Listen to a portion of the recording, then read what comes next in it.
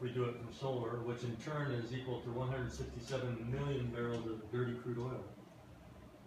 The U.S. uses 94 quads a year. How many are available every year? 47,000. We're barely touching what's available. So 47,000 are available. And we use 40% of the energy in the world. We're really pigs on it. I mean, we're 5% of the population, but we use 40% of the world's energy. That's kind of crazy. And all this energy that we're talking about is free for the taking. It's from the sun. Next slide. So I'm going to talk about the myths behind solar and, and, and people are like, I don't understand, it's, it's like magic. I used to think there was a magic box when you did solar that you had to pay a lot of money for and put on the wall and, and, and basically I found it was two breakers. It's like hooking up a stove, it's no different, it isn't difficult. It's actually very easy to do. Um, it's too cold and cloudy where I live. Well, Germany, Germany's a lot colder and cloudier than we are by far, especially in Southern California. And they're at 85%. They're actually decommissioning all their nuclear plants by 2022. They've already knocked out of 19, they're down to 11 left. And the rest will be gone pretty soon. Um, it is code there that you cannot build a house without solar being the roof. It is the roof. It isn't on the roof. It is the whole roof. And they collect rainwater off of it because it's glass. And it shades the building and it gives multiple functions. So it, it's actually stacking functions is what we try to do in permaculture is everything you should do or you try to do does three things or more or you shouldn't do it. I wish our country would start working on that. Uh, I don't want it on my roof, it's ugly. Well, I don't want it on the ground, I think it's ugly there. Another reason you don't do it on the ground is it's dirt down here. So your panels get dirtier faster. That's why solar farms have to be cleaned all the time. You ever put water in a bucket and there's a little bit of dirt down at the bottom. Where is it? It's down at the bottom, right? And this part up here is pretty clean because the dirt settles to the bottom. That's how it is in the air. The dirt is down low to the ground. So the higher up you go, the better. It'll stay cleaner and more efficient and also it gets cooled. You put it on your roof, it's about four inches off the roof. Air can move under it. It cools your house. So you're shading your house and that's called overstoring your house. So when you put them on your roof, they're actually giving you those permaculture multiple functions. You just put a shade structure over your roof. A breeze will go up under it and cool it. So you just knock 10 or 15 degrees out of the hottest part of the day on your house, especially if you put it on the west side. Next slide. So this is Germany. Remember I said that it is the roof? Here's the whole roof on the building. It's all solar. This is the side of a skyscraper. On all the sun sides, they're all solar. The roof is all solar. And they're at 85% right now between wind and solar alone. That's all they do is wind and solar. Uh, Freiburg is called Solar City because they're the ones that are out in front. They're, they're, they're going to be at 100% within a year all their total needs. Also, Germany is exporting all their excess energy during the day to the European Union and they're making a lot of money. And then they pass laws where companies cannot work at night anymore. They want you to do it during the day when all this free energy is available. And they give the energy to industry. Like Mercedes-Benz gets free energy during the midday time and they just tell them, hire more people. You can have this energy for free for your plant, run your plant like crazy, but hire more people, make some jobs. It's really, really smart for a country and a community and its citizens. Next slide. So one of the myths is technology is not ready. Anybody know what that is? That's Curiosity. That's on Mars. It went up there 13 years ago. It was only supposed to last 18 months, a year and a half. It's still going. This is 15-year-old battery and solar technology. So when people say the technology is not good, it's not ready, what do you think? Mm-hmm. They drove it off a cliff. They landed it there by bringing it in in a regular spacecraft that entered. Then they opened up a parachute. And then right before it hit the ground, it deployed these big airbags and it bounced in these big airbags. And then it righted itself. And then they drove it around. And they didn't expect it to last longer than 18 months because they figured it would get buried in the sand and the sandstorms and that would be it. Well, they didn't count on the dirt devils coming along and cleaning the solar panels off and keeping it going. So 13 years later, before drive motors are burned out, they drive it backwards. It's still working with 15 year old solar panel, the best of its time, but it's 15 year old technology. Still working today. They're still using it, still communicating with it. So they don't even know what they're capable of the solar panels built today are guaranteed 25 years. They're mandated to be guaranteed 25 years. They'll last 200. They degrade. That means over time they get less efficient. They lose their power, like a light bulb wears out after time. Same thing. Um, they're actually making panels that will last a thousand years already. If they're not allowed to be imported into the U.S. Next, next slide. It fails easily. Well, it has a 25 year warranty. Um, they'll last over 100, maybe 200. They really don't know. The first one ever made is still in the Smithsonian and it works at 70% of its original power. I've heard people say it doesn't pencil out, and I always say, well, whose pencil are you using? You're either using Edison's or the oil companies because they do pencil out. If you buy it and you put it on your roof, you're merely buying collectors. Remember, the sunlight's free. Sun comes out every day, and that's what creates the energy. So these are just collectors. So you buy the collectors, and when you finish paying for your collectors, you never pay again for electricity. You're done. It's also on your roof. So what that means is you're not dependent on the wires coming from a plant a long ways away where they're charging you to push that energy to your home. You're paying for that electricity, but you never got it. That's transmission costs. So if you're using their, their pencil, yeah, it doesn't pencil out. But if you're using anybody else's pencil, they really do pencil out. And 30% is, is a rebate on any solar system. And it also includes if you build a, a structure to put it on, if you have to redo your roof to get your solar panels up there, they cover everything that you have to do to get solar on your home. So, um, I can't afford it. There's a Hero program that's out. You can get bank loans now. Uh, there's a lot of stuff coming around, but the Hero program is is uh, basically PACE funds. And PACE funds came way back from Clinton's time. They put all this money away, and it was Congress that did this to do energy efficiencies like solar, doors and windows, insulation, all this stuff. What happened was they did it, they put it in the account, and then the banks looked at it, and we're talking about HUD, Fannie Mae, Freddie Mac, these are all our federal lenders. They looked at it and they go, oh, we don't want to take a second to these loans. So if you loan this money to people, and they're talking to the local banks. If you loan this money and make these loans, we won't guarantee them. So nobody did it. So this money sat there for years and it grew from millions to billions.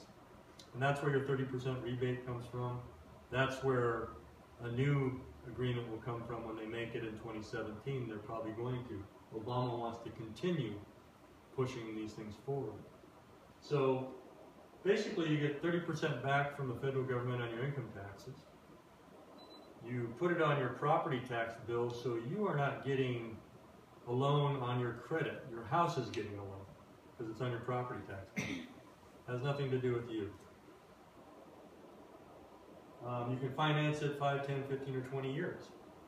So you can make it affordable like a car payment. You go buy a car, you pick how long the term is and how much you want to pay, and you get your payments down where they're comfortable. Also, you can write off the interest on the loan because it's on your property tax bill. So you get an interest write-off, you get a 30% rebate. Hero lets you get the rebate, put it onto the bill, and reduce the loan by a third when you get it. So you can drop that and make a down payment from your friendly federal government. What if the uh, residential property is on Doesn't matter. There's a property tax bill, you can put it on the bill.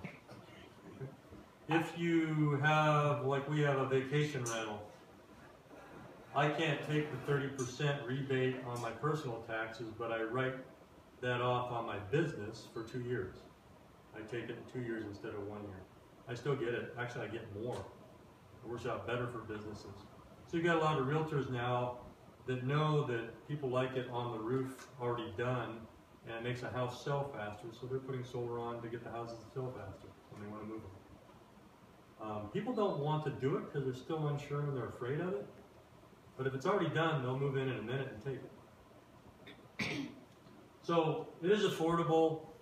There's ways to finance it. Banks are loaning on it now because heroes come on the scene and they have to compete. Otherwise, they're missing out on all this money, right? So that's what's happening. They're starting to open up their doors and do it. Um, you're still only gonna get like a, a seven-year loan maybe out of a bank. You can get 20 years out of Hero. And basically, say you moved out in 10, you paid for 10 years of it, somebody else moves in and they pay for the last 10. You don't pay for the whole system.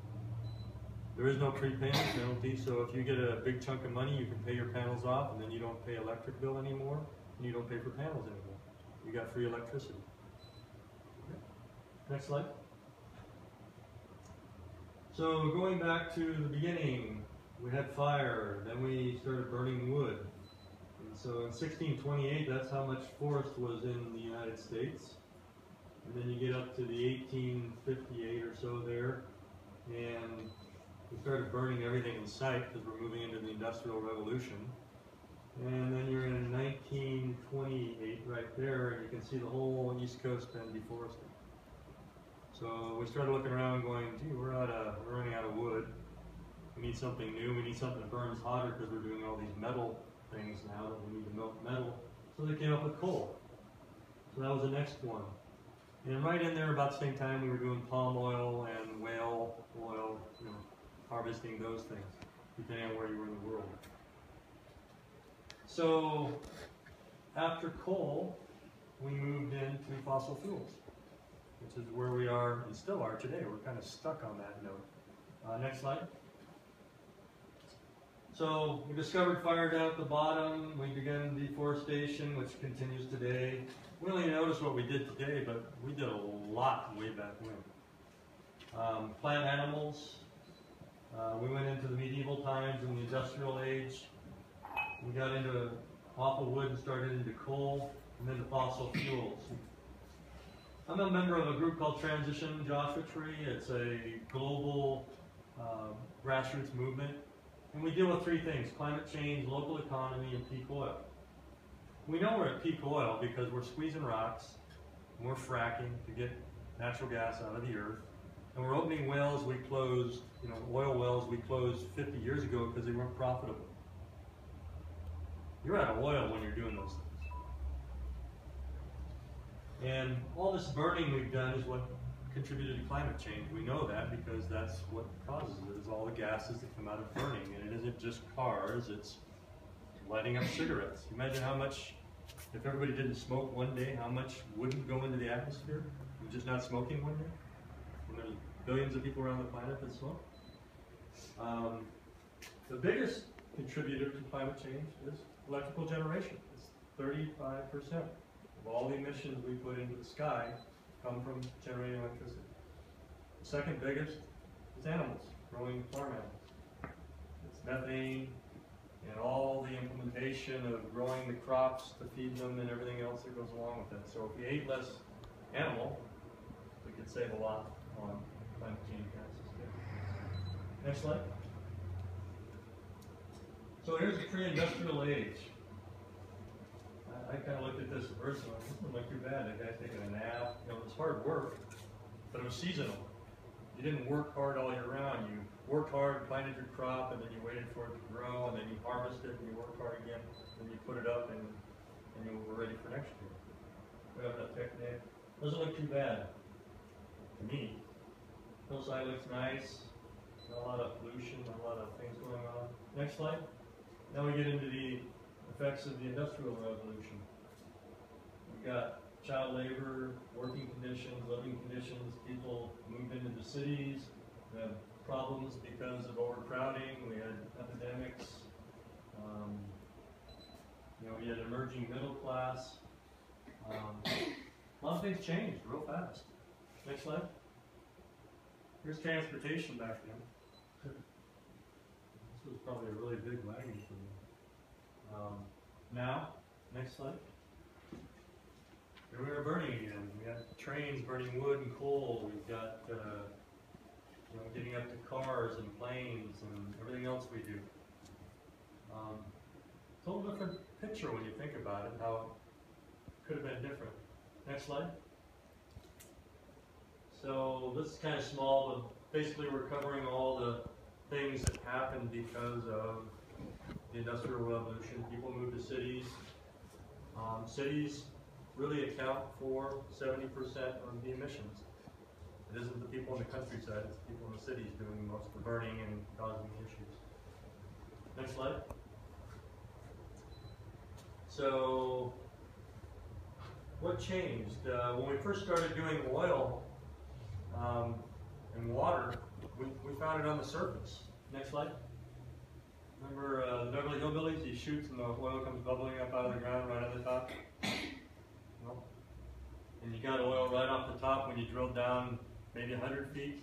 Now we go six, 7,000 feet down in the ocean in the Gulf, and then go sideways some more and, to get oil out. We're out of oil when you're doing those kinds of things. So that's what's changed is our water and our aquifer has been depleted. We're down into the heavy metals that are left in our aquifers, so we have to clean our water better. We can't keep drafting out forever. We have to put something back. All the water in this area was put here 15,000 years ago during the Ice Age. We don't get recharge. That means we can't put it back easily.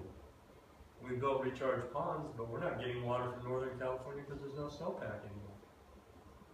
So what do we do? We have to figure out a new way. Next slide. So we need to know how we consume energy today. So has anyone ever heard of the energy duck? Next slide. What does it look like? This is a graph of how we use energy, but does it look like a duck? Let's do duck. So this is the hours of the day, 24 hour clock. This is evening. This is the net load of energy that we use. So this is called the tail of the duck. This is 2013. This was the back of the duck. Then this is the head of the duck. And then this goes right back to here and starts the next day. What changed? Here all of a sudden, 2015, we're down here. Look where the belly of the duck is, but the back of the duck's down here. It's going lower and lower. What, what changed? Solar, renewables. We don't need energy during the middle of the day. What happens is everybody gets up in the morning, 8 o'clock or so, they go to work, go to school. Nobody uses any energy right here. But we have a whole bunch of it being made by uh, solar. And then they get home, 2 o'clock in the afternoon, start using more, turn on their TVs, air conditioners, heaters, and then we go back down at nighttime and drop off. So the duck's telling us that we don't need energy midday anymore. Or we need to change how industry works and start making them work midday when we have all this glut of energy available. So we have to rethink when we let certain people use energy and where we put our production for solar. Right now, it's always been south. Make energy all day long. Put it on the south. We don't need it midday anymore. So what happens is the morning and the afternoon, peak time they're called, become more valuable. So this would be east. In the morning you put a few panels over here, and you put a whole bunch on the west. All of mine are on the west on our house. That's prime real estate. That's when the air conditioners are on. That's when you want to make the most energy. Eventually that's when you get paid back the most for generating because you're putting it into the grid when it's needed. So no longer do we want to put all of our solar panels facing south. We want to do a little bit on the east and a whole bunch on the west. And we can start designing our systems locally. Rather than making a big generation plant that pushes electricity everywhere, we put it on our roofs and we do a local grid just for us. And we keep it right there. We don't push it thousands of miles away and lose 20, 30, 60% of our energy getting it there and then charge people for it. We're paying for that. Same thing with food. Keep it local. Keep it local. And that's where that local part, local economy, local part of the transition movement is coming from. Next slide. So, how do we generate electricity today? Here's the big power plant, Edison. You guys know Edison. You know these big giant iron giants in the desert. Then you have a receiving station. Then you come down to a distribution station. Then it comes to your home and it goes to industrial customers. And this would be like a Walmart, right? But what happens when you do solar here and here and here and here is you don't need any of this anymore. We can keep these. We can keep these because we will make a whole bunch of energy off of these and all of the excess we'll use what we need right here locally and we'll send that excess to the distribution station and then we can send it to LA or wherever the heck they need it. And that's happening right now whether we want it to or not. Um, the uh, state is determining whether they want to use eminent domain to take over the utility companies and get them out of the private sector and put them back to work for us. And I'm hoping they do it because that means they'll start taking our energy back, paying us for it on our rooftops, and we should be able to make our whole rooftop glass to catch rainwater because we're in a drought, and make our whole rooftop a production field rather than scraping the desert, putting in farms that they want to charge us for again. And the, the other big thing you have to remember is if I have it on my roof and you have it on your roof, and something happens to these, these power lines, any kind of problem, and you say, what could that be? Earthquake? Tornadoes, hurricanes, war? What's the first thing that happens in war? They come in and they blow this guy up. Now nobody has any power. How do I know that? That's what we do when we go to war. We go over to Iraq and we blew up all their generation stations, all their water supplies. You cripple the country, you win the war. So all of this weak infrastructure disappears. We don't need it. You guys heard a telephone pole goes down in Yucca Valley and you don't have power for hours a day, two days? That's how weak that infrastructure is. Can you imagine an earthquake with a whole bunch of down poles? Or plants that are ruined and can't generate? If you have it on your roof, and I have it on my roof, and they have it on their roof, then I'm secure. I'm using my energy right off of my roof. It's already here. I'm not losing it in transmission. And I don't have to worry about somebody wanting to come get my energy either. So you're energy secure by having it right on your rooftop. So everybody says, well, what about nighttime? Well, right now you tie to the grid, and at nighttime you buy back. But if you overgenerate during the day, you create like a checking account, right? You keep putting deposits in, deposits in, deposits in, and then at nighttime you take a little bit out. Hopefully you build your system big enough that you can do that, and you always come out ahead. Now you have the turbines, Yep. the wind Yeah, and then there's also Germany's leading the way, so they're creating the the next generation of everything that is coming out. But you have solar, strictly solar water heaters.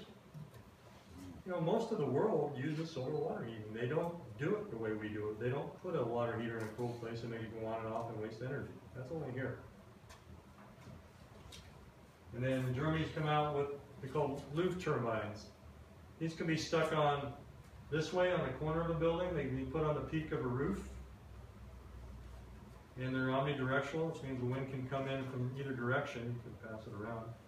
And they generate 500 kW, which is a lot. Those big giant windmills down there, they're not green.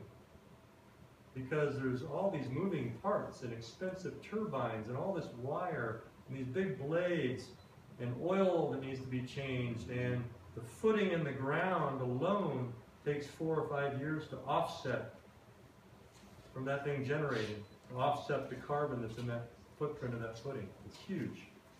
They're not green. We do them because they're subsidized by our government. They make money out of it. They get paid. But it's not a really good way to do it. And it's ugly as heck, don't you think? You think anybody think that's pretty when you drive down through those Wire things? here too. Yeah, I grew up like those Uh, I thought it was cool. Getting way, way too much. It's a unique Yeah. But it isn't, again, it isn't necessary. We don't need nuclear plants, we don't need fossil fuel, we don't need this. There's no moving parts with solar panels. You put them on your roof, you clean them occasionally, and they work. And they work for a long, long, long, long, long time. So we don't need the majority of that anymore. Next slide. So this is Siemens. Does that look cheap? No. That's the new generation of um, transmission lines that they're building. Does anybody know who owns that company? You told me. Gosh. Koch brothers. Yeah. Oil companies own Siemens. They also put the traffic signals in. And what do traffic signals do? Start and stop you? Well, when I worked at Firestone, I thought that was pretty great because you wore your tires out faster and your brakes and you did tune-ups, you wore your car out quicker. That was good for my business. I was happy. But in thinking back, it's not really a good way to be when the world is in the condition it's in and it's not sustainable behavior. We should be making things last longer. And I also learned, uh, I ran the first Firestone that got first smog equipment in California. And we knew at 20 miles an hour, 25 miles an hour, a car puts water out the tailpipe if it's running properly. So you have no emissions if you keep cars moving. But if you start and stop them, that's where the emissions come from. If you stop on it and go really fast, you're dumping a lot of hydrocarbons. If you start and stop, you're dumping a lot of hydrocarbons. If you're moving along, pretty much clean air coming out.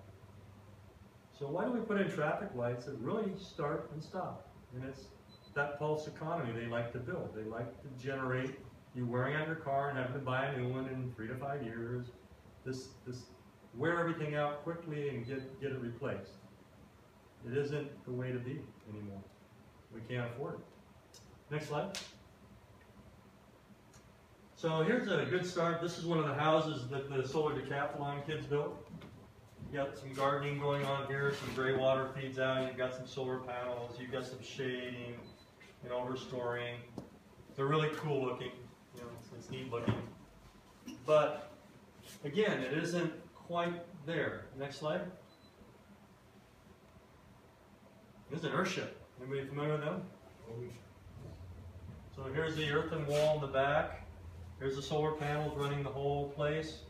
This is a passive solar wall that goes to a greenhouse garden where you can grow food even in the winter inside. This dome in the back is actually a cistern that collects water off of the roof from snow melt and rainfall. The wind and the cold comes this way over the earthen wall, passes over the roof, and never penetrates the building. Therefore, you really don't need a heating system. If you light a fire, it's probably just to look pretty. This is a much better way to build, and yet we don't incorporate that into our homes today, and we should. Our building codes need to change to reflect passive solar and. Next slide. So today's model is farm solar energy and fossil fuel fired plants and nuclear power, which require huge, weak infrastructure and wasteful consumption. We talked about traffic lights. How about lights at night? Why do we have all these lights on at night? In the middle of the desert, street lights, dirt road, light on. Do the squirrels at night need to see? I don't know. Pretty weird. It's because they don't want to wind back their big generation plants and then wind them back up the next day. They want to use up all that energy and keep it going. But it's wasteful because we're burning fossil fuels and natural gas to do that. That's crazy, especially in this day and age. Uh, creates energy dependence and insecurity for the country, communities, and individuals at the same time. Next slide. This is Washington, D.C. Washington Monument. This is a parking structure covered in solar. So does that look good, or does a you know a fossil fuel generation plant with smokestacks look better? Next slide. Anybody know what that one is? Oh, yeah. That's called Ivanpah. That's BrightSource. That's five square miles of thermal generation. Those are all mirrors, and they focus the intensity of the sun to that cooling tower right there, and they superheat water, and then they run the generator down below. This cost billions of dollars to build, and it failed. It's not working like it should. We paid for it. Plus it's frying cooks anything that flies through there gets fried, you know, immediately because you're focusing those intense heat beams onto that tower. Um, the CEO of uh, NRG, which is the biggest company in the world that does solar, came out and said this is the wrong way to go. He said distributed solar on our rooftops is the right way. And he answered to his children. He said that because he said we we know one day we're gonna get old and our kids are gonna look at us and go, you knew and you kept building this stuff the wrong way. They can't get that energy from where it is out between Vegas and us to the city. They lose too much. It's not working. It's the wrong way. This is five square miles and they covered up two geoglyphs. You guys know what geoglyphs are? It's things you see from the space. Guess what one of them was? The sun. They destroyed the geoglyph that the Native Americans built there of the sun. And Pele. Two of them gone forever because of this. Next slide. Does this look cheap? These are nuclear plants. Do you feel safe with these or not? I don't. All of our plants in the US are really old. They need to be decommissioned. I say Germany's shutting all theirs down by 2022.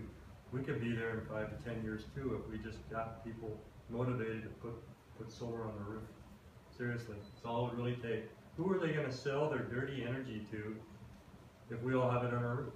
And we don't need everybody. We only need 25% of the population to put it on the roof. That's enough to power us for 200 years. Next slide. So we could have this, where it's your whole roof. Next slide. So what you can do, you can create an energy descent plan is what I call it. Um, the biggest thing you can do is obviously install solar, and I say that because that's the one that will pay you back the fastest. Most systems today will pay themselves off in five years in energy savings. When you do the HERO program and you get the rebates, it's more like three to three to four years. Um, unless you run your loan out over 20 years, which you will pay 20 years if you pay it out.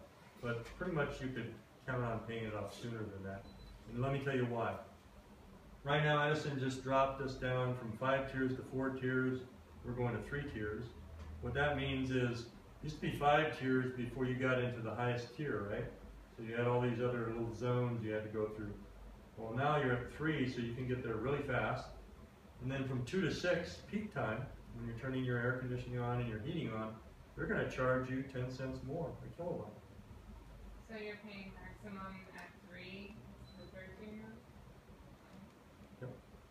So what does that mean? It means your electric bill is going to go up really fast. Not only are they getting a 6 to 20% increase every year, they're forcing you into the highest tiers faster. That means your electric bill in three years will be three times as high as it is today. So if it's an $80 bill now, it's a $180 bill in three years.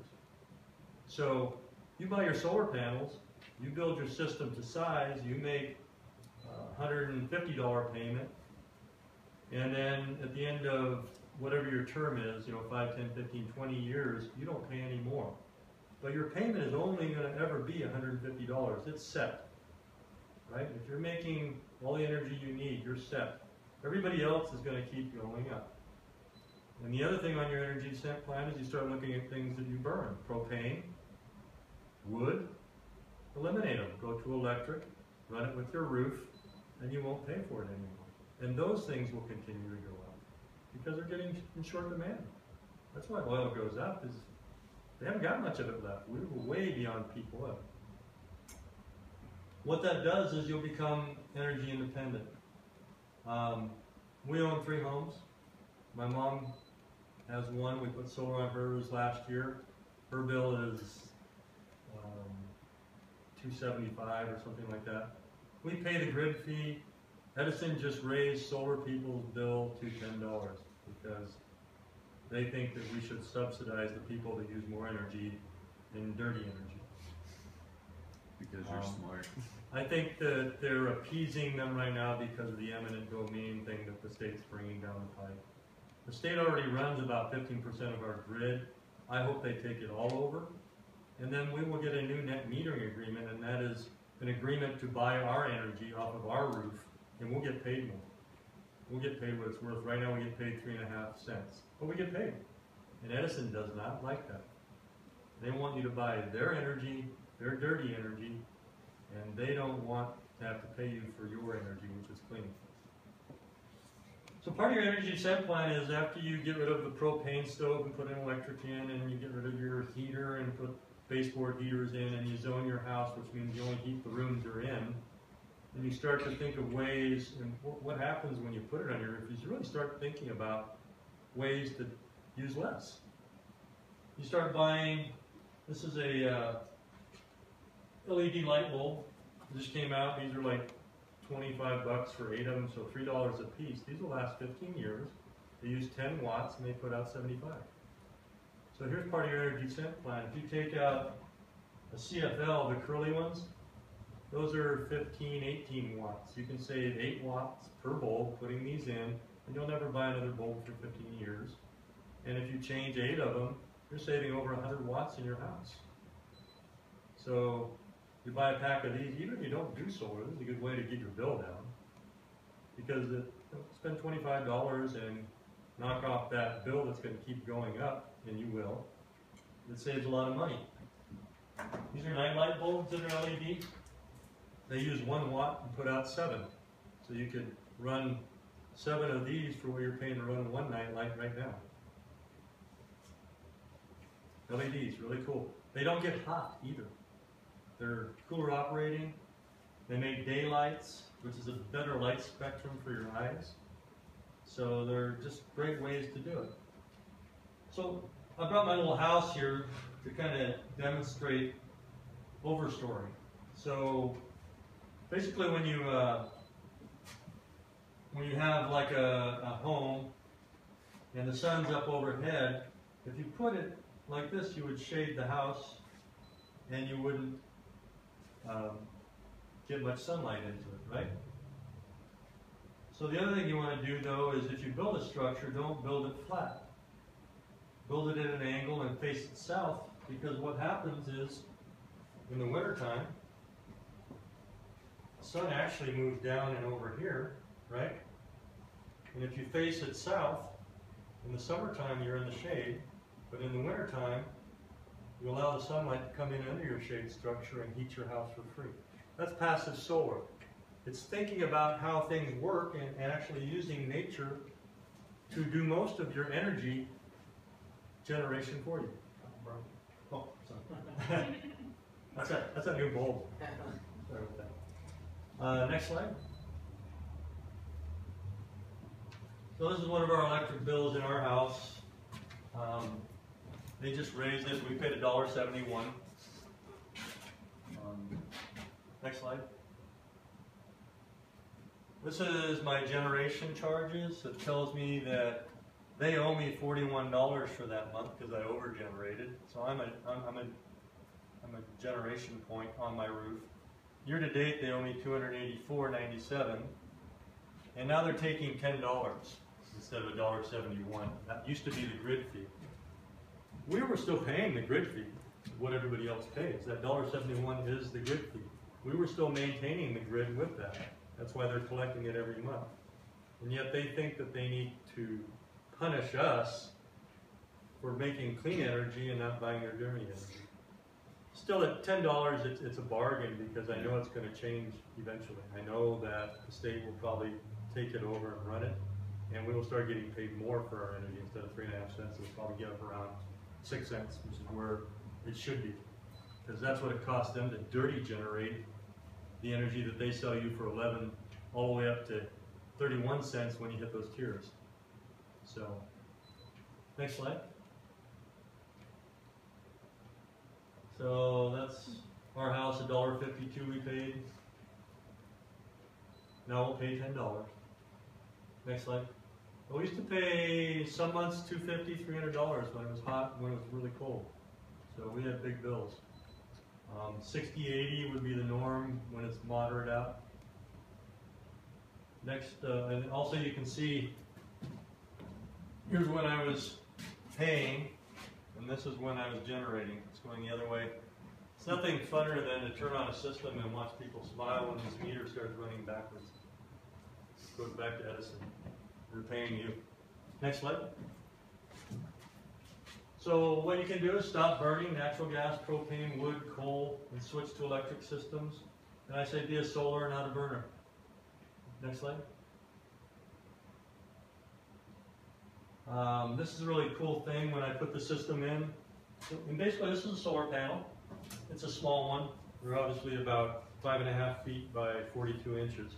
This is a sample of what they look like. Um, the way they're made is this is actually a crystal that is grown in a manufacturing process where they take a seed crystal, they superheat silica sand, if you can believe it, it's just sand, and they get it up to like 2200 degrees. They barely touch that seed crystal into it, and they start to extrude these big crystals, and they pull them up and they actually grow them in a plant. And then they slice them really thin, and they put them into the panel. And that's what collects the energy from the sun. It collects photons, and it converts it into DC electricity. And then from DC, which is what all panels put out, we go to AC using an inverter. I use microinverters. This is one of these for every single panel. Um, many reasons why I chose to do this. These are more expensive, but they last longer, they're guaranteed longer, they're more efficient, and they're monitorable. That's the best part. So I can get a little computer box, and this is what I give everybody when they get a system, that monitors every single one of these, which monitors every single one of those panels. So it knows what's going on with your whole system every minute of every day and gives you total readouts. And when I first put mine on, I thought Edison was stealing, you know, three or four hundred kilowatts from me every month because I kept missing. You know, they'd say I made this much and I show I generated this much. I didn't realize what I was missing was what I was using in my own home. It was me. We, we used it up. You were stealing. I was stealing my own electricity. Yeah. We actually burned it. Um, but the reason I chose these is they're small. I don't know if you've seen the big ones. Called Sunny Boys or different things. They're big inverters. And they, they're called string inverters. It's the old technology, okay? It's the first ones that came about. And what they do is they put the panels on your roof, they run DC voltage down to this big inverter, and it's a giant heat sink. That means it's, it's, you know, transforming that energy from DC to AC, it's dumping a lot of it and changing it. And that puts out a lot of heat, and that actually puts a lot of uh, electromagnetic field out. It's not good for you. These do them in small quantities, right at the panel, way up high on the roof. They're underneath the panel, so we mount them under here, so they're in the shade. They're on the rail. And then air is moving under here, right? So you're cooling your inverters. And they're small, and they're not giant heat sinks. So they last longer. So then they're warranted 25 years, just like the panel. Because they're not going to burn out in 8 to 10 years like a string inverter will. How much are These are like 220 bucks. Oh, they? So you need one of those for every bill. One of those for every panel. You'll pay $2,800 for a big inverter. Right. But the benefit of this is each one of these is microchipped. It's monitoring every single panel. It will also diagnose itself. So if you have a panel getting shaded by a tree limb, it'll come on and tell you it's not working right, something's wrong. Go check it out. If it's not working right, it'll actually go red and, and tell you there's a problem with that panel. It will tell the company that makes these, and they will send you a letter and tell you you need to have it checked out. And they will diagnose it for you. So you get lifetime monitoring and diagnostics with this system, whereas with a big inverter, it's like a car program. You have to be able to interpret what's in that little LED crystal thing. So you got to hire somebody. They got to get on your roof and test your panels and try to figure out which one's having a problem. This is a way, way better system for a little bit extra that you pay, and it puts out more energy and is more efficient. So that's why I choose them. All right, so next slide. Oh, no, wait. Um, this is the report you get. So this month I generated 3.9, well, that was year to date. I don't know how long ago this was, but I generated 3.9 megawatts. I make almost a megawatt a month off my roof with 24 panels. That's a lot of energy. um, 905 kilowatts. So the carbon I offset is 1,619 pounds. That's the same as 19 full-grown trees would do. So it's like I planted 19 trees by putting this on my roof. So you're really doing a big, big benefit to the world when you do this. Also, this is my roof. So this is the main house. These are my panels. Each one being monitored. It's showing me how much it's generating. There's a vent pipe right here. That's why there's not one there. And this is my garage. And this is a skylight right here. So, and that's 24 panels. Is that a So- normal, medium size? That's actually big. It's big. That's a big system. But I'm getting paid too. Right. I built it big just to see, you know, if they would scream, and they did. They didn't turn it on for me for three months, I think it mm-hmm. was. They don't like it when you over-generate. They really don't. And yet, solar farms get paid, and they can do it. Why can't we? Why can't we make an investment and contribute our energy into our system in our country? Did you have to bring the court to turn it on? No, no. They just drug it out, made it miserable, made it hard, lost paperwork, and I reported it. And it got better, and it's getting better now. Now I get them turned on within two weeks. Um, I don't know if anybody knows Bobby First. It took 70 days to get his turned on because he had an existing system. And they wanted to know everything about that old system. Well, it was 10 years old. I didn't know anything about it. I had to look everything up. But they made it my problem. To turn on his new system, I had to tell them all about his old system. Which is just. Which they had everything because they had an NEM on him from Yeah, 10 years ago. But it's Edison. They don't like doing this. But this is a really cool thing that you get with a system when I build it. And, and here's the thing, I, I do it for 385 a kW, which is a kilowatt. Um, the going rate is 450 to $18 on some of these leases that people are getting stuck with. Do not do a lease. Um, it's like leasing a car. It's one of the worst things you can do. It's hard to transfer ownership of your home if you go to sell. Nobody wants to buy it because they've got to buy that system lease, and they don't necessarily want to do that. Um, you want to own your system. You want to get your rebates, your 30%. You want to get your tax incentives. I want people to do this because it's the right thing to do, and that's why I'm doing it cheaper. I'm giving you the best system for less than anybody else out there. And you can shop around.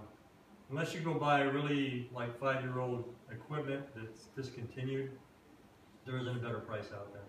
And you can do that, but you'll end up with, you know, four times the amount of panels on your roof covering your whole roof, generating less. You want to leave room to add to your roof later. If you add things to your home like an electric car, which we'll talk about in a minute. Next slide. Um, is that the leasing, is that the primary plan offered by Solar City, the power purchase? Solar City, uh, Renova, everyone does that. I can do that. I have companies approach me every day to do leases and I tell them no. I have people ask me to put it on the ground and I tell them no. I'm not gonna do those because I don't agree with them. But it, it is common. It's very common. And people are still doing it because it's, oh, it's zero money down. Well, Hero zero money down. Hero finances everything. You didn't have anything out of your pocket. Uh, on a lease, what they do is they take that thirty percent when they're done and they put it in their pocket. They keep it. They reduce your electric bill a little bit. Okay? And they own your roof for twenty or twenty-five years. It's not your roof anymore. They own that system on your roof. And they tell you, oh, well, we'll do the maintenance. What maintenance? Do they come out and wash them? No. I've never seen a lease company come out and ever wash anybody's panels. That's all you really need to do to your panels. And the rainstorms out here wash them pretty good. Um, Does it Renova only like to do it too if your electric bill is pretty high? They don't and, like and leases are like, like car dealerships. When you lease a car dealership lease, they're all over the place. I mean, you could be paying eight bucks, you could be paying sixteen bucks. They they have prepay it off and and get a reduced rate on your electric. It, it's a gimmicky thing. It's all on paper. It's what banks do. Know, when they do the interest and they hide the points up front and all that stuff. It's the same game. I don't like it. I don't think people should do it. On the other hand, I think it's better than not doing solar at all. I'd have to say that. because you're at least helping climate change if you put it on your roof and you're doing it. And you will get a little bit less of electric bill. They will knock it down. Okay? This is fracking. Another thing we shouldn't be doing. Um, next slide. Um, why solar panels? They're merely collectors. They don't make the electricity, so you're merely buying the tool that collects the energy for free. Energy is free from the sun. And our sun is pretty new. It's uh, probably only half burned out at this point. We got a couple billion years left. Um, good enough for my generation. yeah, I think it'll, it'll last my lifetime. The energy from the fun, the sun is free. It's called photons. Um, it's right outside your door every day, all day long. It's what makes everything melt out here in the desert. Your dashboard on your car and everything else. Those are what's bombarding you. Um, mitigation. I talk about mitigation because there are 26 lines of mitigation in a solar farm. I mean, from cutting off wildlife habitat to dust abatement to uh, just crazy stuff. You can't believe, you know. Ducks crash into them because they think they're lakes and they die. I mean, all kinds of problems around doing farm solar. And you're destroying the crust on the earth in the desert. One square foot of desert sequesters more carbon than anywhere else in the world. It's, it's like got a, a, an aerobic bacterial um, crust in the ground that takes all that carbon and sequesters it into the ground naturally. Now, we do that with coal. You know, clean coal. You've heard of that? Well, the way they make coal clean is they take the stacked stuff after they burn the coal, and they scrub it, and they take all that smoke and, and carbon, and they sequester it in the ground mechanically. Problem with that is, is if the ground is stable. If you have an earthquake, it can be released. If you have too much water, it gets into the water. If you have all these problems coming out of sequestering carbon unnaturally and drilling into the ground like we do over and over thousands of times around the planet unnaturally, it's not good for the planet. We're getting earthquakes more and more often in areas that never had earthquakes, like Oklahoma. Never had earthquakes. We've punctured the ground so many times, we've messed it up, which is what we do really well. So, Mitigation is the act of mitigating or lessening the force or intensity of something unpleasant as wrath, pain, grief, or extreme circumstances. To me, it's doing something you know is wrong, but doing it anyway and saying, we'll fix it in the end, or we'll trade you this really nice piece of land over here, you can have that if we can mess this one up really bad. And we gotta quit doing that too. You know, there's no reason when we can put solar panels up there and get all of our energy for, for free. There's no moving parts. They don't wear out, at least not in my lifetime or your lifetime. Um, there's very little maintenance. You get a 30% rebate. So if you're buying a $15,000 system, you're getting $4,500 back on your taxes the first year. If you do the Hero loan, and we do it before the end of this year ends, it won't even go on your, your property tax bill till November of next year. So you'll get your rebate back, you can lower your payment, you'll never make a payment or an electric payment until November of next year. Pretty cool. And then you do two payments just like your taxes, November and April. So divide it in half and you pay. Uh, next slide. And there is no prepayment penalty. kind of fuzzy. Um, basically, it's an instant approval. It's really easy to do. You can go to Hero Financing, put in your address and your information. It will tell you right away what's available on your home. And it's based on the value of their home. They're, they're doing like a 10% over what the house is worth. And, um, you know, it, it's, it's really easy to do. It takes five minutes to find out. We can do it here, or, or you can do it yourself. Um, there is no real loan packages. It's basically, um, we call them, you decide you want to do it, you tell them you want to do it, they give a thing called a notice to proceed to me. I go do permits, I do it, and then you tell them he did it, and you sign a thing that says it's done, and you're done. And it's that easy. It's really, really, really a simple thing, and it only takes 15, 20 minutes to do any one of those steps.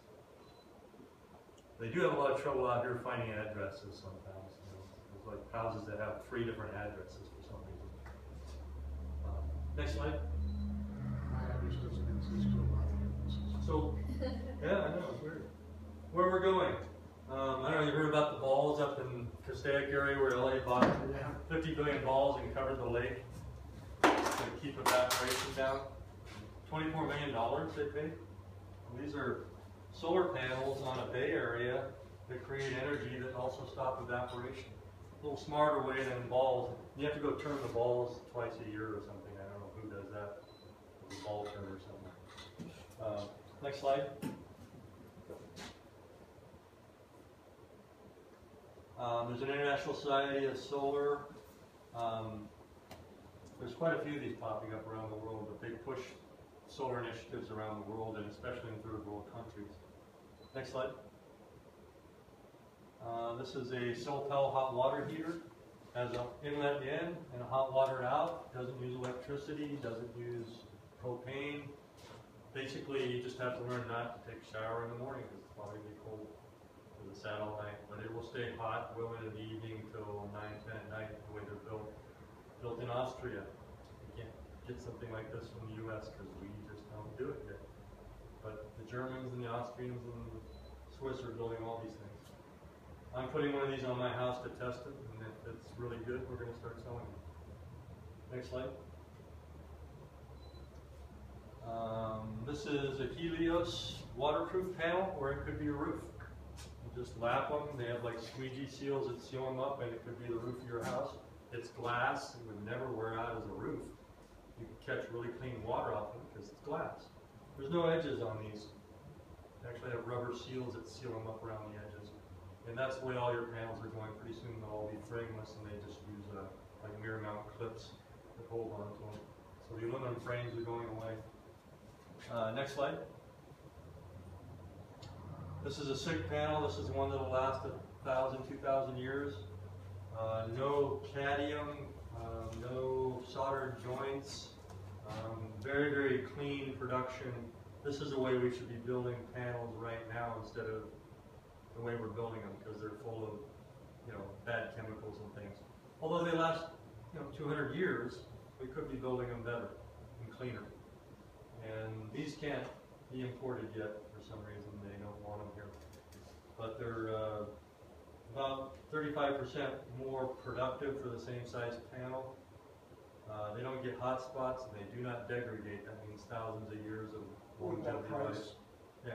About three times as much, not that much. I mean, that's where we were ten years ago with these panels, what we're doing now. Next slide.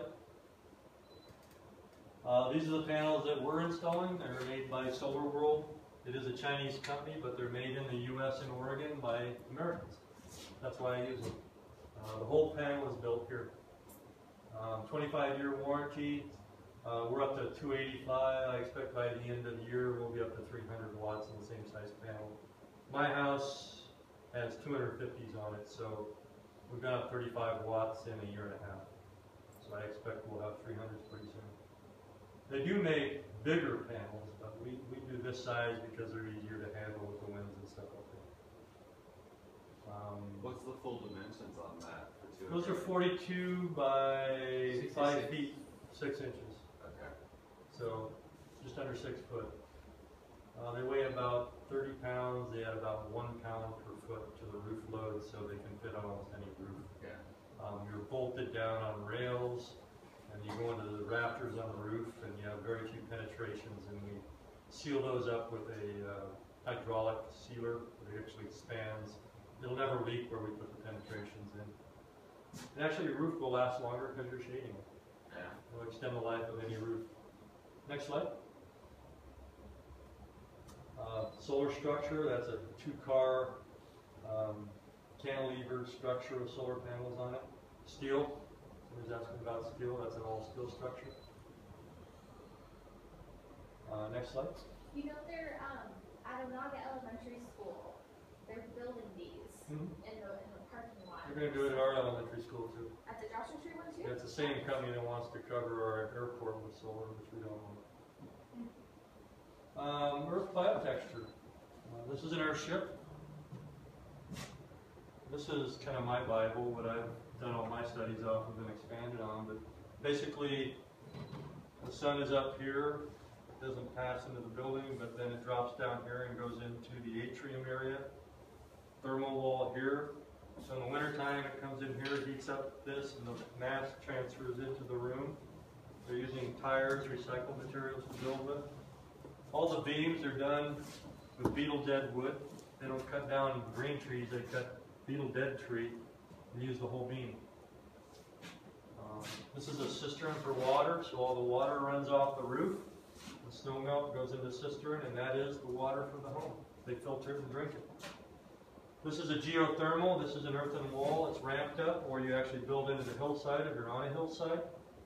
But hot air gets taken in through here by a convection, goes in here, and we know that when you get about 12 feet down, it's about 57 degrees. So you have free air conditioning, and you draw it through and out, and you get free air conditioning in the summertime in your house.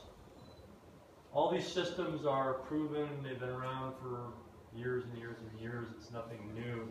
Um, Mike Reynolds just happens to be one of the guys that decided we're building wrong and started building right. You can actually take an existing square building and earthen up this wall, make it really thick.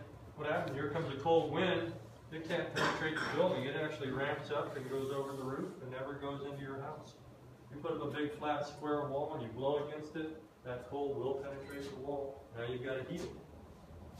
And then conversely, in the, in the uh, summertime, when the heat's baking down on it, the cool out of the earth, the geothermal just pulls up out of the earth into the building so you don't have to cool it, or not nearly as much. So you can use much smaller systems, or no system at all if you do it right. So I'm actually building these systems, and there's also uh, next step on the water system is a biofiltration field. So all the gray water comes out of the bathtub and the shower and the lavatories and the laundry and they go into this gray water system. And then you run it downhill to the end of that system that's usually 25 feet long. And basically you plant your food crops in there. You grow your garden and your bananas and whatever in there and you eat that food. It's watered by your gray water and then the plants will actually clean the nitrates out of that gray water so when it reaches the other end of that system, it's really clean, well enough to, to use and drink and filter again. But what he does is he pumps that water into your toilet and flushes the toilet with it.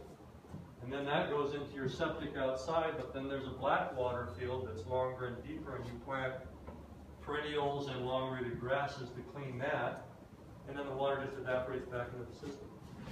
So you use the water four times before it ever made it back into the system. I'm building on where I'm actually taking the last stage and I'm pushing the water down into our aquifer again. And I force rainwater into my biofields to flush them and clean them out periodically. So we're building an all-natural system where we don't need a waste treatment plant ever. Plants are cleaning it for me. I'm getting food from them. You want to plant things that give food.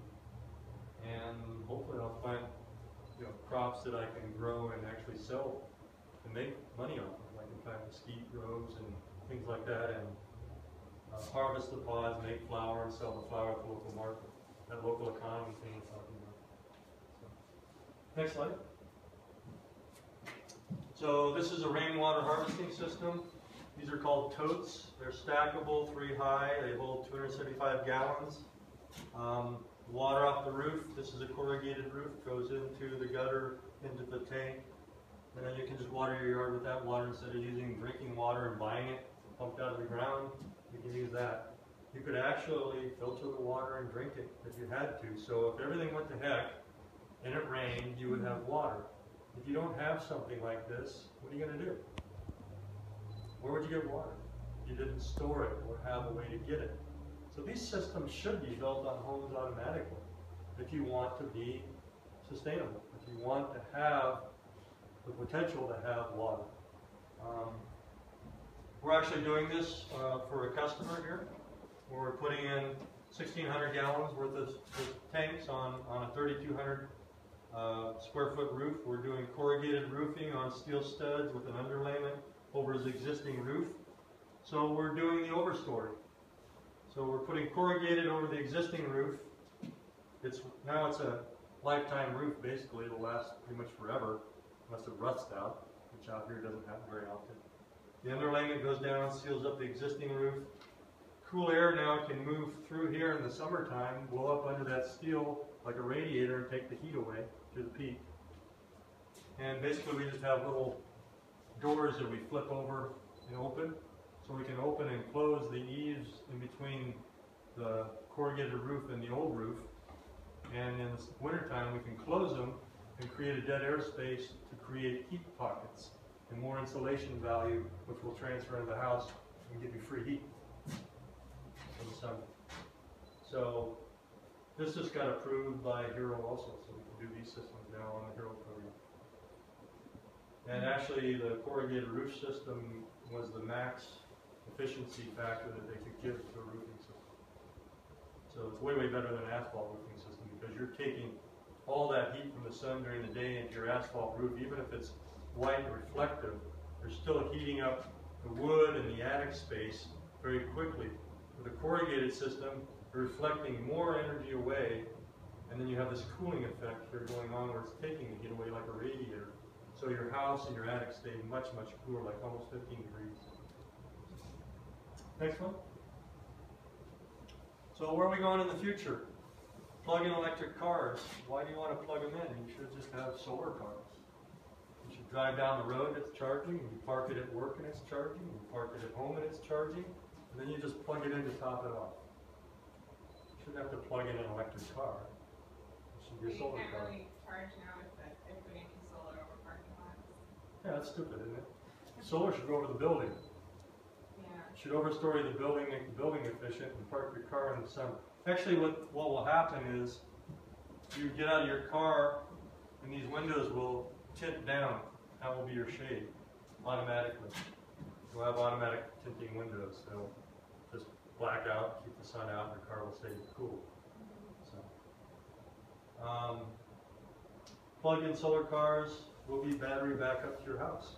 So you have the solar panels on your roof, running your whole house, you get free energy, you bring your car home, you plug it into your house, now your house charges your car, right? Now it gets to be nighttime and you're using electricity, you have these great batteries in your car that will run your house. So you don't need Edison anymore, you go off grid. And the car batteries could run your house for a week. That's how strong car batteries will be. You've got a whole bunch of them that run the electric motors. Um, the charger called the Powerwall that Tesla's putting out right now has an ion battery that will run your house for a day. So basically, you could put one of those in. They're about thirty-five hundred dollars. They are the charger for your car when you get your car. And the next Tesla car out is going to be about thirty-five thousand dollars. We'll have a seventy-five hundred dollar rebate, and it will probably go between three and six hundred miles on a single charge. And that's all coming. I mean, he's building it. Next. Bullet trains. Buy bullet trains, we're not gonna build this anymore, it's too expensive. Billions of dollars, it uses a lot of electricity, it's super heavy, it uses, um, earth, earth and natural magnets that we don't have many of anymore. Um, it, it was a great idea back in the seventies when it was first thought of, and they have built some in, in Japan. Our friend Elon Musk is already building the first fifty miles of a Hyperloop, which is basically a train. It's like a monorail, you've got two tubes up overhead. You get in the car and then they turn a fan on at the other end and they suck you to San Francisco at two hundred miles an hour. And it'll go eight hundred, but they gotta figure out how to slow it down so you don't get smashed end. But they're building it already. I mean, it's not, this is not the future. This is now. They're actually got, the first 50 miles are going in from San Jose to San Francisco. And Elon Musk is building. He's kind of one of my big heroes. He's like Howard Hughes and uh, Henry Ford in one. He, uh, he's tied into SpaceX. Um, he sends rockets into space and satellites. He's building the electric cars. He's building the battery plant right now that will, he owns SolarCity if you don't know that.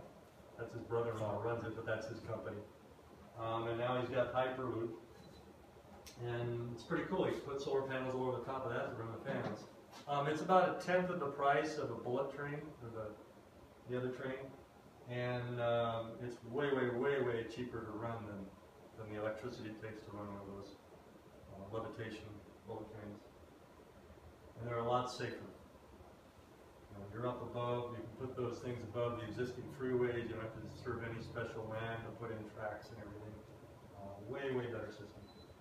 Next slide. Anybody know what that one is? The uh, Goss. Gossamer, yeah. This already flew around the world. This is a totally solar powered, all these wings are covered in solar panels. It flew around the world already. Airbus just put out an ad, an ad saying they're gonna have a, a plane that'll fly transcontinentally by twenty twenty-two. So, solar, electric. They're already designing and working on it. When this guy finished his flight, he sat in the cockpit for like 20, 30 minutes and they finally came up and someone asked him what he's doing and he said, I just sitting here thinking about all the people that told me I couldn't do this. So they told me it couldn't be done. And yet, there he sat and he did it. So, there's lots of people that say we can't do things there's a few people that do it, and, it can be done. So I think the future's pretty bright. I think we have a lot going for us, but I think electricity is the way, and I think, you know, putting solar on your roof is a smart thing to do right now. Is there any more? Um, oh, you the little airship that could. Thank you.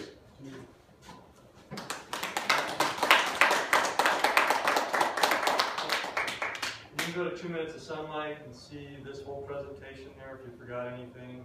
Um, there's all kinds of information on rainwater harvesting and different things we're doing. Also our vacation rentals on there if you want to see what we're doing with that stuff. It's actually old 50s trailers that I've restored. People come staying on them. They have a water heater on the roof a glass box and they're overstoried and there's biofuels going in place right now. We're doing all this so people can see it and know you can do it, not just two talk minutes about of it. sunlight, dot com. Two minutes of sunlight, power of the world for a You year. have to put that little slash Yes. button in too. No.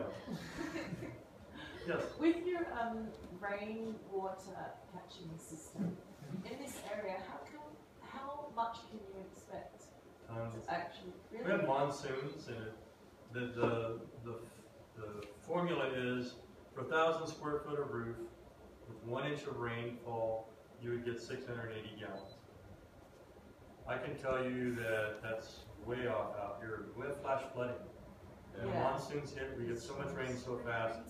I could tell you that So you've got a big roof. Yeah, you, you could probably fill almost anything you put in place, and I'm talking like upwards of six to eight thousand gallons. in one Yeah, single which is probably makes more sense because sometimes it doesn't Each rain for tote a is while. two hundred and seventy-five Yeah. gallons.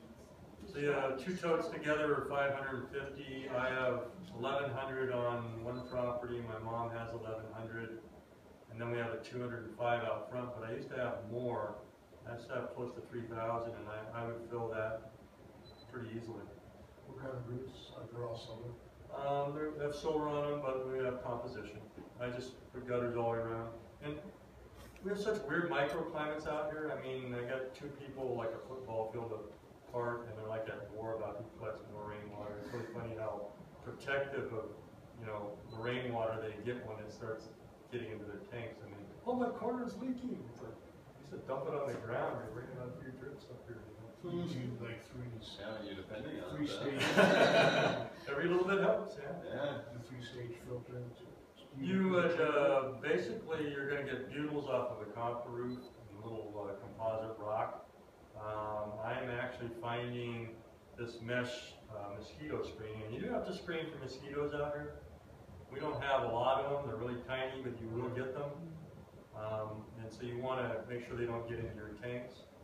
Um, the tote tanks, I mean, there's commercial systems, which is Bushman. And, uh, the ones I built were those, I think I got pictures here. So here's, uh, you can see them. Here, I can get you on some lights. Yeah, turn the light on. Anyway, these are two tanks, we painted them at first. This is Rhonda Hayes. She filled this one up in about ten minutes, first time it rained on her house. And actually, she overflowed the gutter because it, it wasn't flowing through the oh, three inch pipe fast enough. Eighty foot roof there. This is how tough does it. It's in a steel cage, he puts this, um, paper around it to protect it and everything, he gets food grade totes. And this is how it works off of the roof of the gutters, I have it another goes book. into the.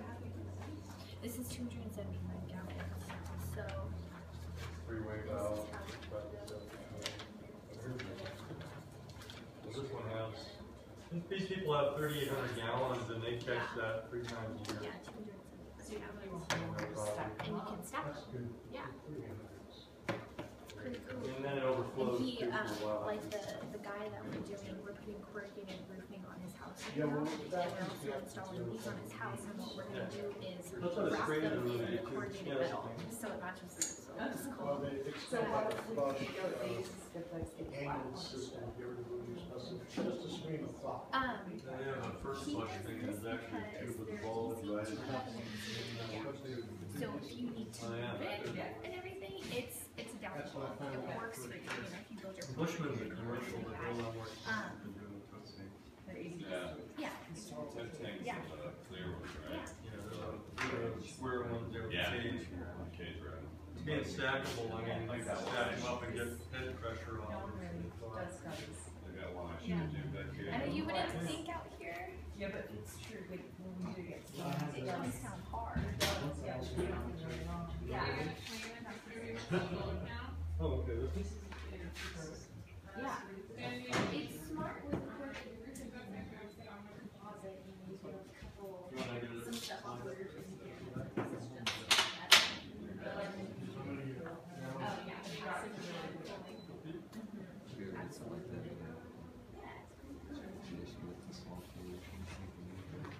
And it's just not approved material, so you can do the hero logo.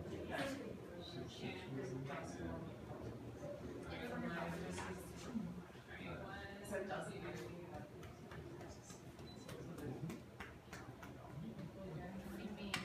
Green one. Far enough, What? but I- hopefully I didn't blind you. Can't tell if I'm moving, yeah, I can't see that good. I only, it's last Straight through your Yeah. I know. Still, that's like, I mean, if that's, you know, eleven hundred gallons of water, all fraction. Hi, Julia. Hi, Lauren. Two hundred gallons. that's pretty I'm gonna give you Thank you. Yes. I have like 10% battery left, so. Yeah, you filmed the last presentation. Yeah, this one I got more. I got an hour 17 minutes. Really on your phone? yeah. Wow. The only, the, and it's really hard to upload.